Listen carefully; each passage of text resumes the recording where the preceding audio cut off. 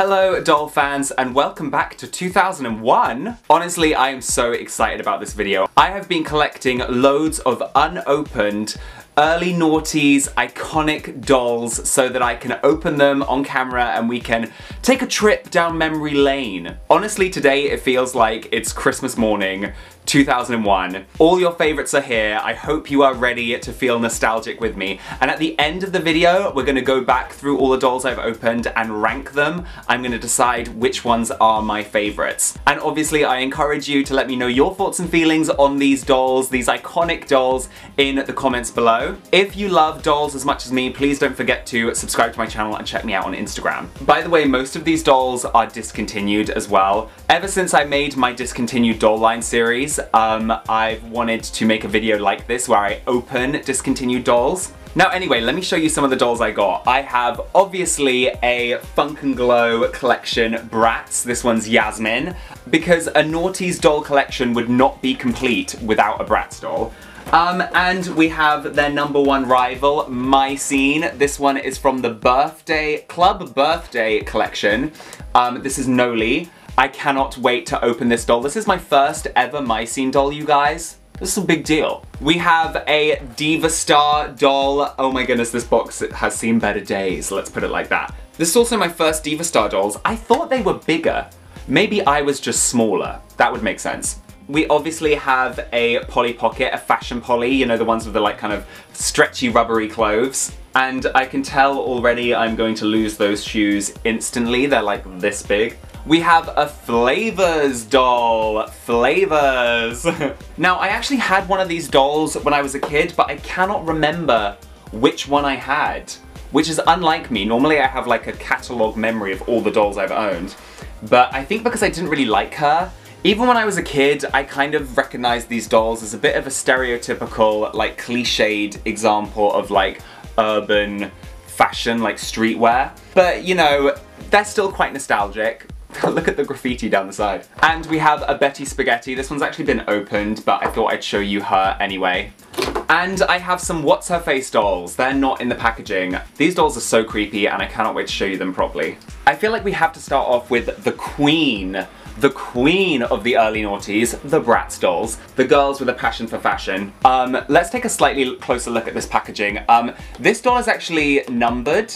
This is number I can't even say that number. It's like 048674 of 120,000. So um, really, really exclusive. This is limited edition Funk and Glow. Uh, I love the kind of iridescent back of the box, very cool. And all of her accessories are like beautifully displayed. I live for these illustrations. They kind of remove, remind me of Groovy Chicks. If I ever do a follow-up to this video, I have to include Groovy Chicks, don't I? Was that what they were called? Groovy chick or groovy girl? Groovy girls. That's something different.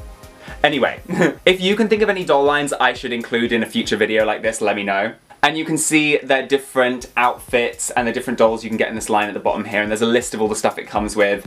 Um, so exciting. Now let's have a look at Nolee's box. There's actually an advert for Lindsay Lohan.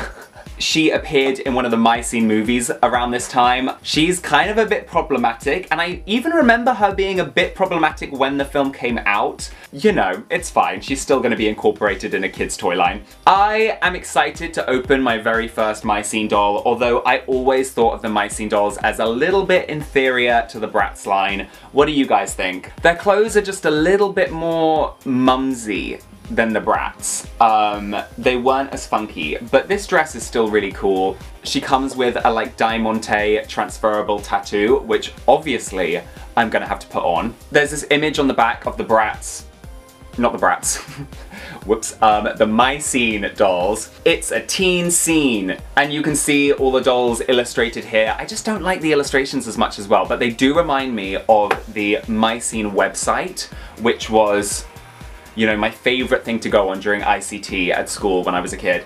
Um, the games were hilarious and fun and honestly I play like one of the like fashion design games and think I was had like a future as a fashion designer. No, no. Or a makeup artist. and you can see here Nolee's getting a car for her 16th. This was right around the time that My Super Sweet 16 was like really big, so I can understand why they were like trying to play into that a little bit. Now let's have a closer look at the um, Diva Starz box. This box kind of looks like it was made in Microsoft Paint. I love the gradient down here, the rainbow gradient. She's really nicely displayed. Um, now these images on the back just look so busted. I don't know, they just don't look very good, these illustrations. They are definitely not on par with the Bratz or my scene.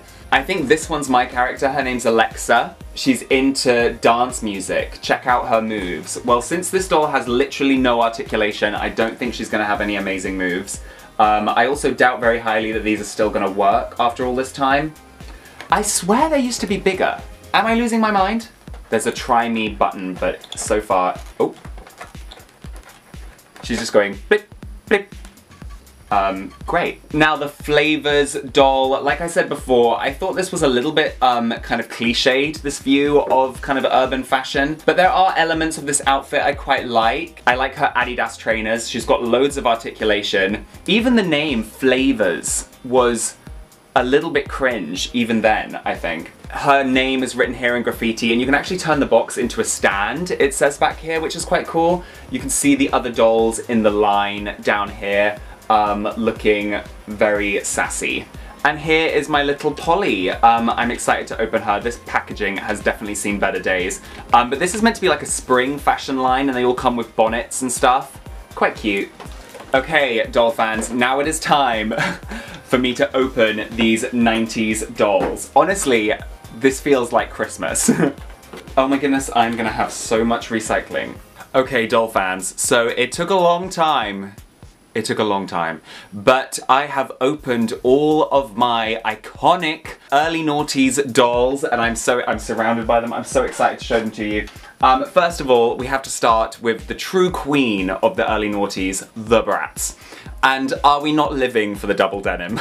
now, this one is obviously Yasmin. I love these kind of like little space buns going on. Um, she's got glittery, massive, pouty lips, what the Bratz are famous for. She's got this very weird looking kind of feather duster bag. Love it. I like the ruching on her top. And then she kind of looks like Quasimodo because there's a massive battery pack back here which makes the jacket light up, but it's not working because the batteries are about 20 years old. Fair play. I always thought her icon was kind of weird. It's meant to be a princess, um, but it looks like a frog. Wait, maybe it is meant to be a frog.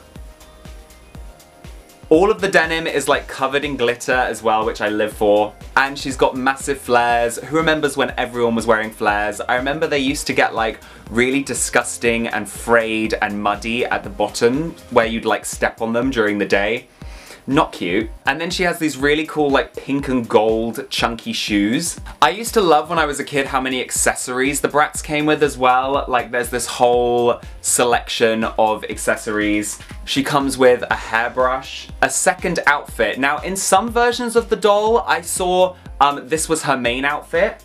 Um, it depends which version you got, but she's got this really cute top and little denim uh, skirt and then there is the Bratz Fall 2003 Super Style and Stuff little book with all the Bratz products. Oh my goodness, it just goes on forever. Woo! All the Bratz products. We have the, what is that line called again? F Formal Funk um, sleepover, uh, just all this amazing, iconic Bratz memorabilia. Now we have Nolee, and it is her Super Sweet 16, and I love this doll. I may be converted to my scene, you guys. This could be it. Obviously, I stuck the transferable on my hand. I feel like I'm totally ready for the year six disco. I mean, one of the things I love about this doll is her hair is so thick and soft and amazing. She's got this gold wrap and a super styling dress with frills at the bottom. Um, now, one of the things I never liked about these dolls was the shoes. They're really loose and I find it weird that they cover up just normal Barbie feet. That's some kind of weird, like, Hannibal Lecter wearing someone else's skin over yours kind of vibe, which I don't like. But yeah, and I just kind of wish they had their own body sculpt instead of just reusing the Barbie sculpt, but this is still a cute doll. And she came with a spare outfit, Um, loads of accessories, including a digital camera. Love that. Do you remember when you used to have to bring your digital camera everywhere you went if you wanted to take photos? So funny. She comes with car keys, but no car. Kind of unfortunate. And she even comes with a present with something inside. And it is nothing. There's literally nothing in there. That's jokes. Okay, well, eh, it's the thought that counts, I guess.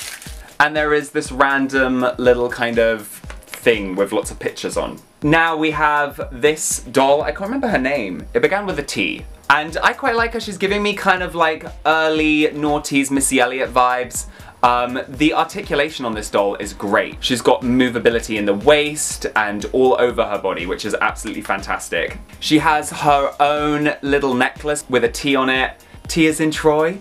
She's got the same necklace as Gabriella. She's got a face which is like halfway bet between Barbie and halfway between Bratz. Um, she's got a cute little beanie. Again, we're going for a double denim vibe. It was clearly all the rage back in the early noughties. Um, but I do like the pinstripes on the kind of baggy trousers. And she's got some little Adidas trainers, which I love. And she's even got socks on, which I really appreciate. Here is the um, stand. It feels a little bit pandering, you know what I mean? The whole aesthetic. Here are her accessories. Um, she comes with a boombox, classic.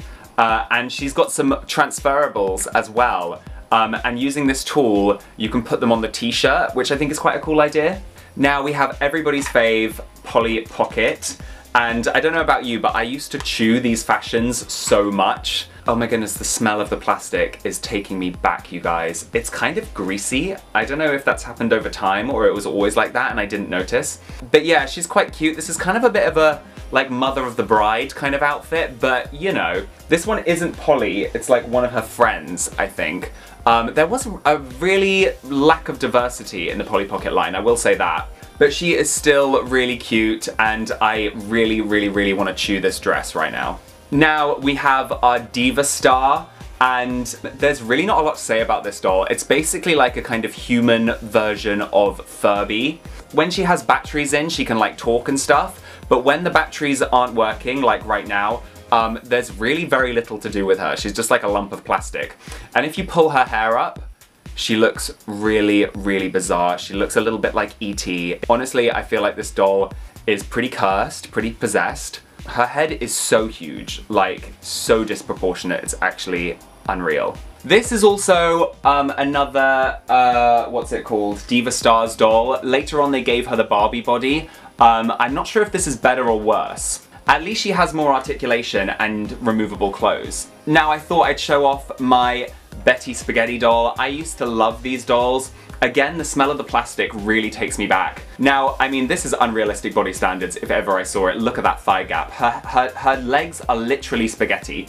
I love the creative element of these dolls. Obviously, you can change out the legs and stuff. Now, one thing that would be annoying is when I was playing with these dolls when I was a kid, is I'd kind of like be running around with a doll and then look back at her and realize I'd lost one of her legs somewhere and her leg was like lying off in the playground. But I love her inline skates, I love the neon colors, and the plastic hair was always quite fun because you could like add beads to it and stuff like that. Speaking of creativity, we also have a What's Her Face doll. Now, these dolls are also definitely cursed. Obviously, I haven't bothered to draw a face on this one, but it never really worked very well. Um, she came with stamps and stuff like that, but they never looked very good and her hair is a wig. Um, not that that's a problem, but I don't know, this one didn't come with a spare wig, so there's kind of no point. And she has very little articulation. Later on, with the What's Her Face doll, they added in a little bit more articulation. This one looks a bit more like a teenager.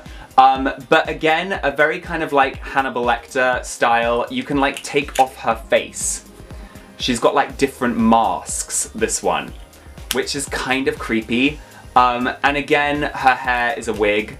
Okay, doll fans, it is time for my ranking of these iconic 90s dolls. Let me know what your ranking would be in the comments. Mine definitely has to go Diva Star at the bottom. I mean, this doll was a bit of a fail for me. Then maybe What's Her Face?